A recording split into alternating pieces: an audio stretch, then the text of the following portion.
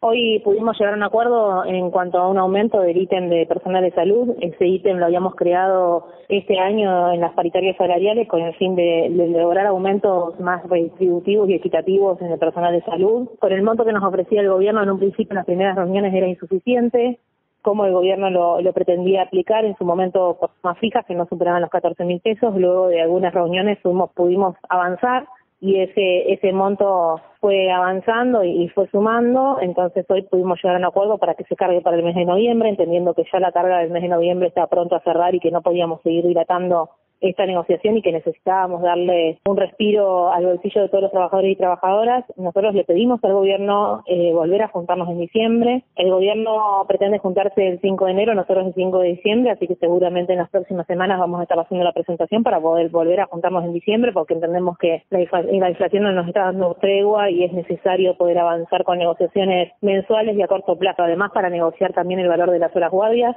y en ese sentido es que pedimos volver a sentarnos en diciembre para poder solucionar esa situación. Yo creo que vamos avanzando a pasos pequeños, queda mucho por hacer porque tenemos nuestros salarios congelados hace mucho tiempo y luego con estos incrementos que hemos tenido este año es imposible recomponerlo. La realidad es que, que para que eso pase tenemos que hablar de otros números y números que la provincia nos está ofreciendo. Entonces, en ese sentido, sí avanzamos, avanzamos un poco, pero la realidad es que si nosotros dejamos pasar muchos meses para la negociación, lo poco que avanzamos lo podemos perder por la inflación